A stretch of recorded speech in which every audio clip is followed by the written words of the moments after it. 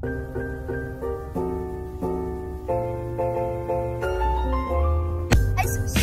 today I am going to Santa Monica Pier, and before that, I am going to be getting some breakfast. So guys, I'll see you there. Bye.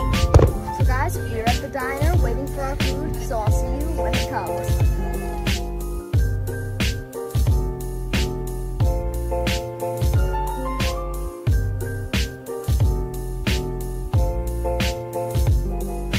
2,000 years later.